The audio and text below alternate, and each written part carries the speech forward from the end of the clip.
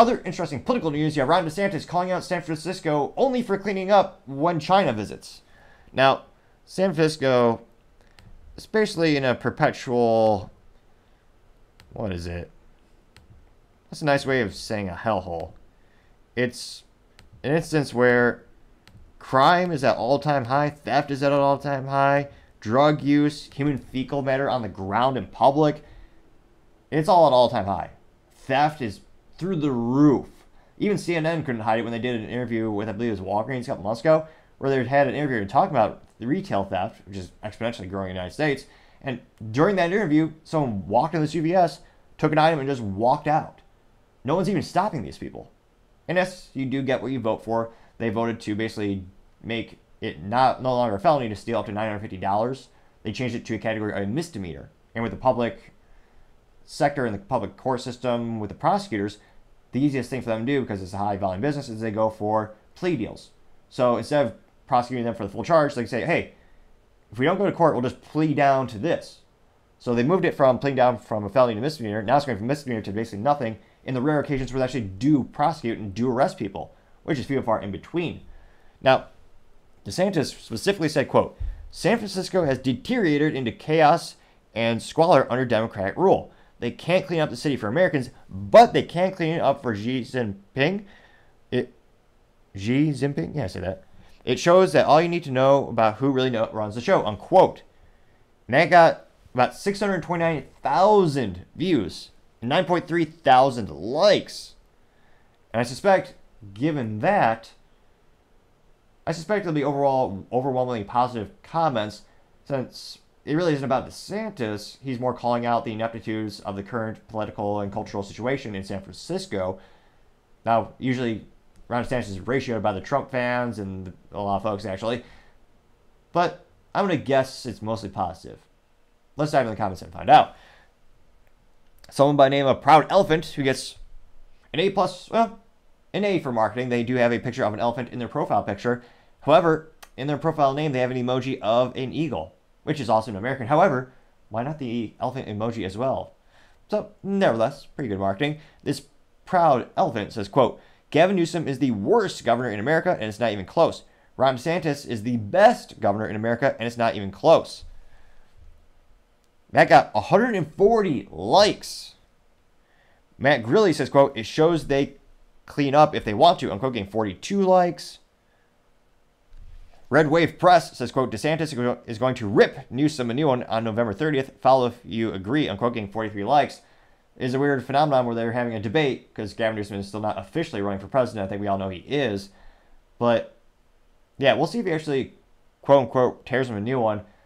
I mean, while his political stances and his choices has helped turn the city into a hellhole, Gavin Newsom is a very prudent speaker. He's very articulate, and I'm pretty sure he'd probably be a good debater. It's one of those things. A wise man once said, "Never underestimate your enemies." So again, the DeSantis team they need an overhaul to say the least. But I hope they're not underestimating Gavin, because yeah, all this all the stats are yeah, the city's gone to hell. Businesses are leaving in droves. People are leaving in droves, and yet Gavin Newsom gets reelected, time and time and time again. Well, there may be very many reasons for that, but it is partially because he's an articulate speaker. So it'll be interesting to see how that debate really goes. Someone by the name of Photographic Floridian says, quote, I was in San Francisco recently, and the drive to Twitter HQ is worse than anything you can find in Florida. Unquote, getting 30 likes. Someone by 5 level 13 says, quote, when you finish eating corn dogs in Iowa, swing by Broward County, Florida. And this is a picture which says, quote, just in outside Broward DCF office, people are in line outside the office because DCF is not answering calls. More than 50% of Medicaid terminations are due to, quote, procedural issues, i.e., the applicant couldn't reach anyone, while thousands others are losing SNAP benefits because they have been unable to complete interview views or had their applications processed within 30 days. If you're here or have experienced the same, drop it in the chat. Hashtag my FLP fam- or FLF families. That got 44 likes. So there is a little contrarian statement, so someone going against the grain, so to say. Ashkash Bahita says, quote, clean up for the elites, but not for thee, unquote, getting 39 likes. Which this is a good little ponder alteration on the cliche or the very famous saying, saying rules for thee, but not for me. So I approve. So my name of Don simply says, go them, go get them Ronnie, unquote, getting 10 likes. Let's see here.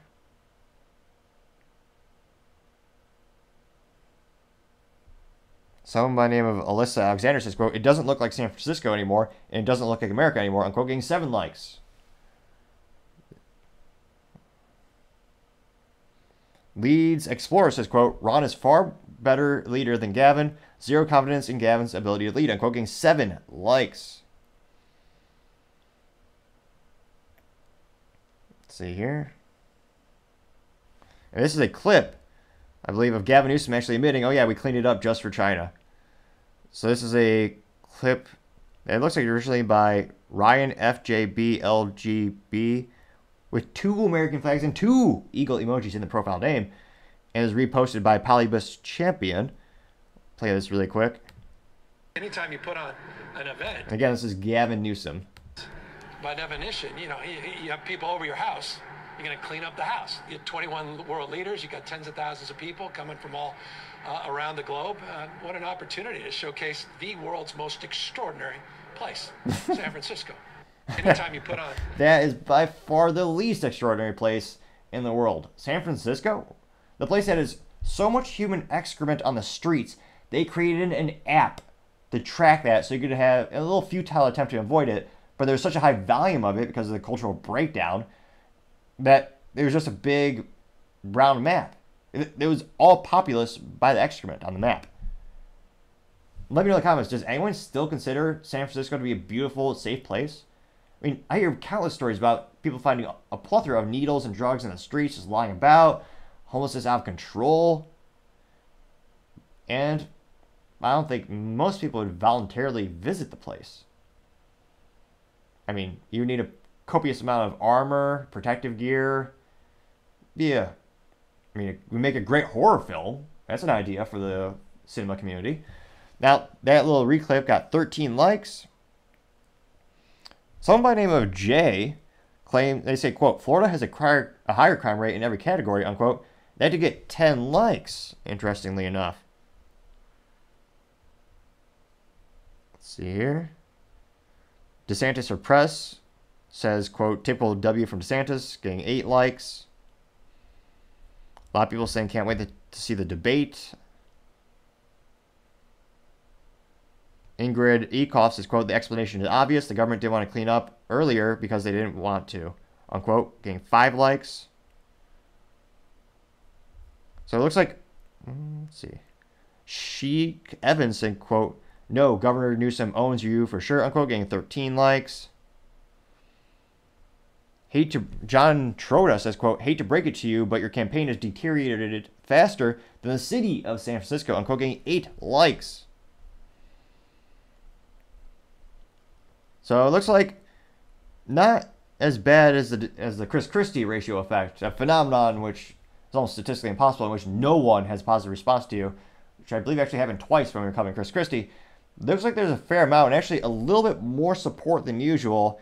Looking at the comments, so, like, again, if DeSantis, in terms of movies on the political chessboard, he just keep highlighting the differences between the way he governs, the way Newsom governs, and just show the differences between the states. I mean, where are people moving? Which one is cleaner? Which one is safer? Which one would you rather raise a family? If, he can drive those points home, it might be able to reverse that trend of his precipitous downfall. Again, DeSantis, when he started this campaign, in terms of the statistics of the Republican nominee, is consistently around 35% and, and Trump is around 45%.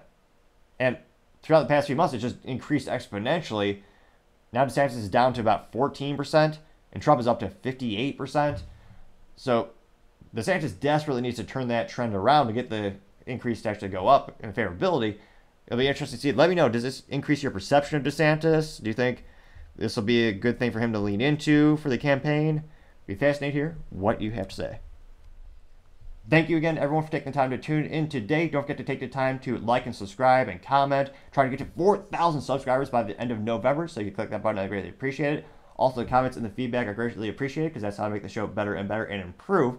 Lastly, don't forget to take time to tell your family, tell your friends, tell your coworkers, heck, Tell your enemies, tell anyone and everyone. Just stay safe and fight the good fight.